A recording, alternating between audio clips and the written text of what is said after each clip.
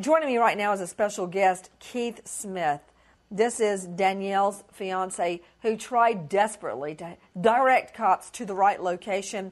Keith, thanks for being with us. Keith, when you first got the call from Danielle, what did you what did you think she had pocket dialed you? What did she say? What could you hear in the background?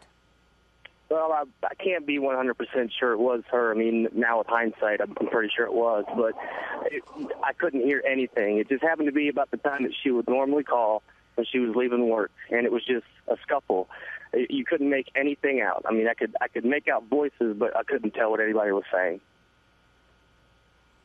Do you have star 69? Could you have dialed it back to see if it was her? I could have, but that didn't cross my mind because at that point, you know, you don't Yeah. think the worst is happening. You just think that okay, you just get some weird phone call. Yeah, you But, I just mean, think you got a call or somebody after I- might pocket dialed you, but you said you think you heard a scuffle in the background and voices. What kind of voices? Male or female? It was a female voice, and the only word I could make out was kitchen. kitchen. Everybody with me is Keith Smith. This is Danielle's fiance. He receives what sounds like a pocket dial around the time his fiance is headed home from work. She never makes it home. Then a tip leads police to an isolated dumpster where her body is found multiple stab wounds. Keith, as the evening unfolded that evening, after you got this phone call, it just sounded like somebody pocket dialed you. You didn't think anything about it. When did you first realize something was very, very wrong?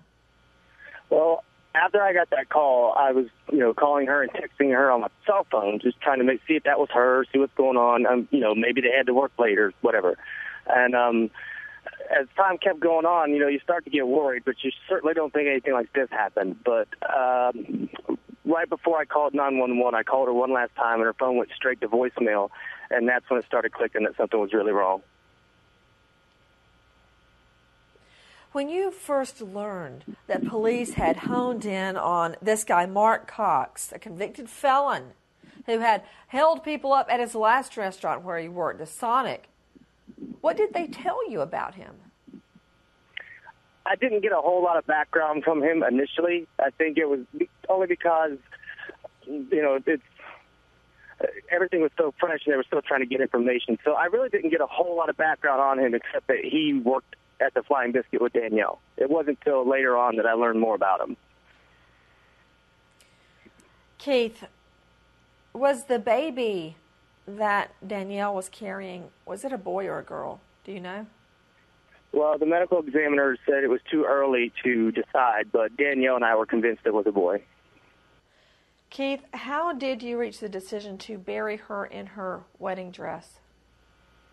It was a uh, combined decision with her family and myself. Uh, the uh, place where she tried the dress on actually donated the dress, so that's um, we had to do it that way. I mean, the, that was the only thing that could come into our minds of how to do it. Keith, what do you have to say to lawyers like Manuelian that suggest the baby didn't equal a person and there should be no sentence in relation to its murder? Well, when your two month pregnant fiance is murdered, you'll change your mind.